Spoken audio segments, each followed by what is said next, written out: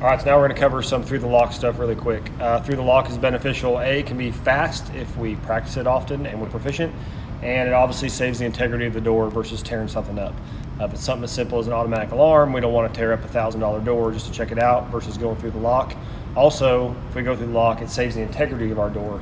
So we talk about you know fires being vent limited, and obviously the more oxygen they can get, the hotter they're going to burn. If we just break the glass out of a door, we no longer can control that flow path, and so that thing's going to continue to get air. So going through the lock, we can actually shut that door and save our flow path if necessary.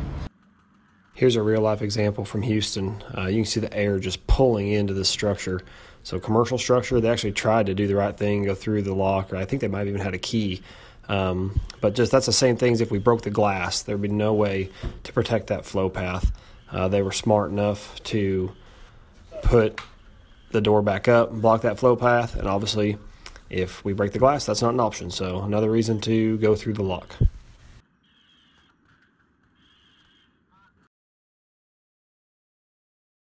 So when it comes to commercial doors going through the lock, this is the locking mechanism that's going to be on most of our locks.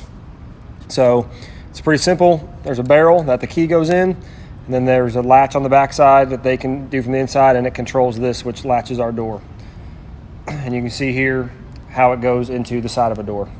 So here's our lock we were using, and here's one you can see inside of the door. So uh, this is the mechanism, and then we'll pull the lock out and we'll show how to open it up. All right, so we have a couple different options for pulling this barrel out to expose the locking mechanism. So as you can see here, it's just brass and it's threaded. So if we can get a hold of this, we can just unscrew it like a nut. So the only thing that holds this lock in is this little set screw you can see right here. So if we can unscrew this and just bend that set screw, like you see we've done on this side, the whole lock will come out and then it'll expose the mechanism. So the first way that we can unscrew this barrel is simply grabbing it with a pair of channel locks or some vice grips, getting hold of it and just opening it up and it'll pull out.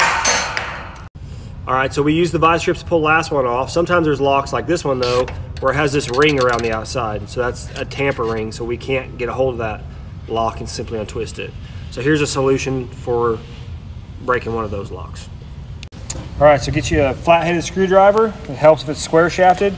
We're actually just gonna take this and we're gonna put it in the keyhole and take a hammer and drive it in a little bit.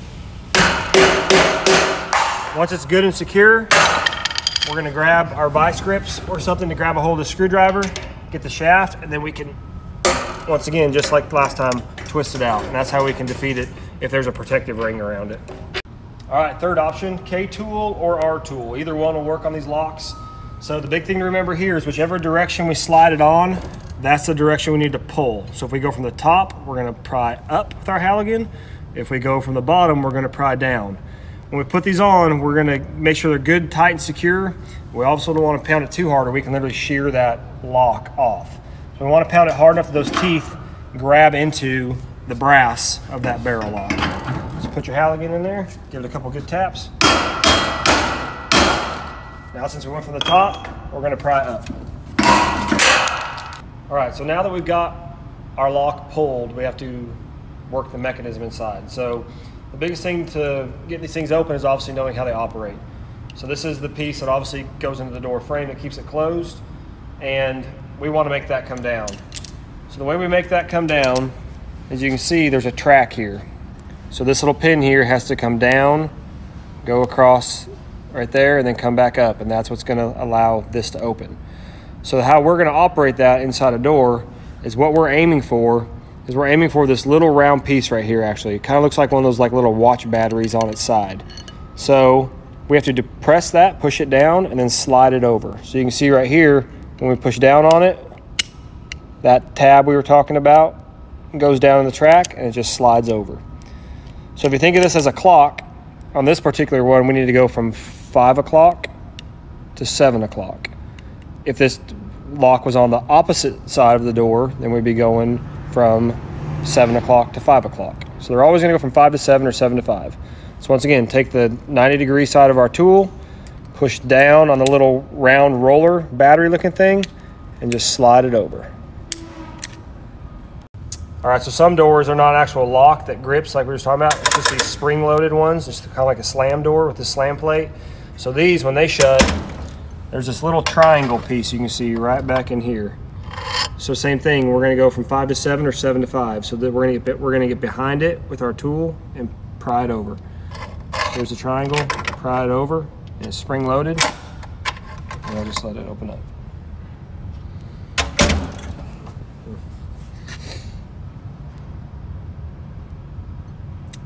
All right, so we've pulled our lock, and once again, that can take us, you know, maybe 20, 30 seconds, and opening the door is pretty simple.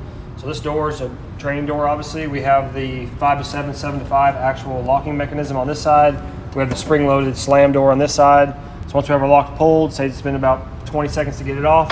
Okay, so they come in here, five o'clock to seven o'clock, that one's unlocked. Come over here, get behind the little triangle spring-loaded piece, and our door is open.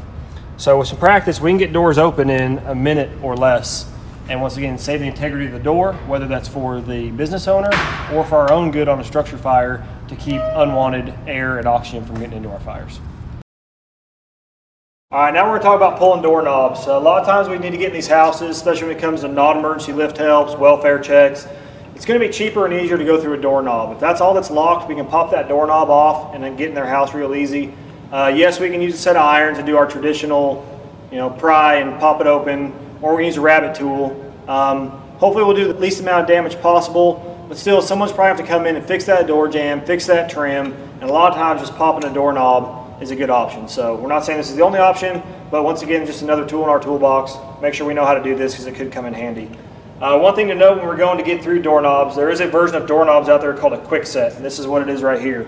If y'all ever encounter a doorknob like this, it's got your normal doorknob and it looks like this that goes right in the middle. What we can do is take a hammer and a flathead screwdriver. If you just pound behind here and pop this out, this little cap, all it's held in is by that little spring right there. That'll reveal that mechanism where we can get in there and, and operate it and open that door up. So if you ever encounter this kind of doorknob, it's called a Kwikset. Easiest way is just pop that part off versus popping the whole doorknob off. If we do want to take the whole doorknob off, we have a couple different options. Pipe wrench is a good one. We'll also demonstrate channel locks as well as set of irons. So we all have a pipe wrench, whether it's in your boot bag or in your high-rise pack. Get your pipe wrench, put it around your doorknob, and just go ahead and twist. It'll pop that doorknob off. All right, option number two, pair of channel locks. It's even handier if you have these ones that have the curved teeth there. Get a hold of our doorknob, twist it off. All right, option number three, set of irons. Only thing is, our irons as they come, they may be a little narrow right here to fit over the shaft of that doorknob. So you may need to just knock this down just a little bit, open that up just wide enough to go over our doorknob. That's the way it'll work. Slide your fork end over your knob, put an axe or something like that behind it for a little leverage point. We're just gonna pop it out. All right, so once we get our, our doorknob taken off, you'll see in there there's a little tab, just like a little quarter inch wide little bar. That's what we need to turn to unlock this doorknob. So you can see right now, this doorknob's locked. Once we get our knob pulled off, get you a pair of needle nose pliers here. Grab that, give it just a quarter turn, and we'll unlock our doorknob. All right, we'll talk about pulling deadbolts real quick. Uh, when we go to pull deadbolts, uh, it's going to be pretty tough, but it's dang sure possible, dang sure doable, something we should be good at. When We're pulling deadbolts, what we're trying to do is there's two screws, either number six or number eight machine screws that run through the back of these, and we're just looking to break those off. Uh, anytime we go to pull a deadbolt, we probably plan on there being some damage, whether that's pulling it with the K-tool, because we're probably going to cause some damage to the door surrounding that deadbolt, or obviously if we go and take a rabbet tool, we push this door open, we're going to tear up the door jamb and the trim behind it. So either way, we're going to do some damage, but here's just another option, something we should be pretty good at.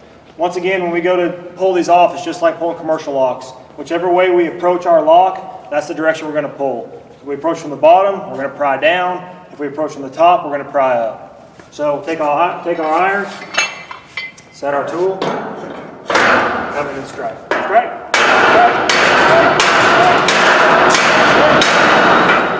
A lot of times, we can weaken those screws a little more if we'll give it just a real slight left and right rock, rocking motion, and then we'll pry down. So we'll go left a little bit, to the right, and we'll go ahead and pull down. Now we got it off, take our screwdriver, manipulate that lock. All right, now we got our deadbolt pulled. You can see here, there's just a little rectangle hole, and all we're gonna do is take a flathead screwdriver, insert it into the hole there, And we can manipulate that deadbolt. Open it up. There we go.